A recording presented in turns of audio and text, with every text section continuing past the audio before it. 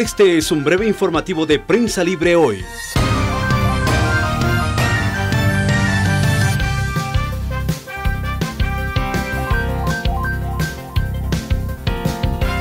Son las 14 horas de este miércoles 11 de noviembre y le presento más noticias de actualidad en Prensa Libre TV. La presidenta de la Corte de Constitucionalidad, Gloria Porras, insistió este día en el que el llamado bono de productividad es en reconocimiento al esfuerzo de los trabajadores de la CC. Esto es parte de sus declaraciones. Sí, la decisión de otorgar el bono es simplemente el, reconocimiento al trabajo de los empleados y funcionarios de esta Corte. Eh, la mayoría de letrados hicieron un esfuerzo extraordinario de trabajar más de ocho horas diarias. Desde que asumí la presidencia, pude observar a todo el personal de la Corte trabajando más allá de las 4 hasta las 10 de la noche para poner sus mesas a día. Venía los sábados y los domingos y el personal estaba trabajando. Ocho personas murieron y al menos seis resultaron heridas en la provincia a causa de una racha de accidentes registrada entre la noche de ayer y las primeras horas de este miércoles.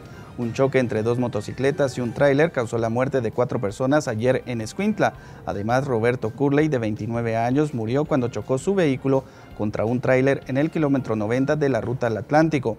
En esa misma ruta, pero en el kilómetro 96, Ignacio González, de 50 años, perdió la vida cuando el pick-up que, conducía cayó en una hondonada.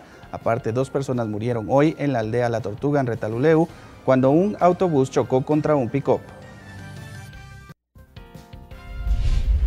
En España, el Tribunal Constitucional suspendió hoy la resolución de independencia en Cataluña tras conocer el recurso presentado este mismo día por el gobierno español, que señala que en la resolución se violan artículos constitucionales. Además de presentar este recurso, el gobierno pidió que el alto tribunal aperciba a los altos cargos catalanes de que el incumplimiento de sus mandatos puede ser un delito.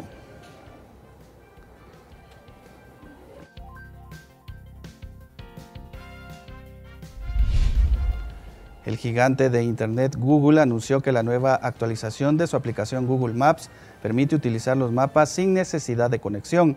La compañía subrayó que la actualización de la aplicación permitirá a los usuarios obtener direcciones paso a paso, buscar destinos específicos y encontrar información útil como el horario de un determinado negocio sin necesidad de conexión.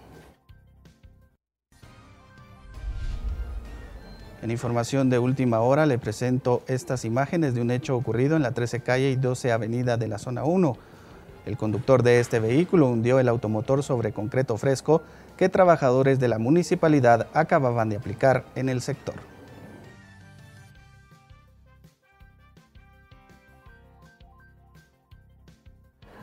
Termina este avance informativo, lo invito a que participe en los foros de nuestras redes sociales y a las 17 horas espere una nueva actualización en Prensa Libre TV. Hasta la próxima.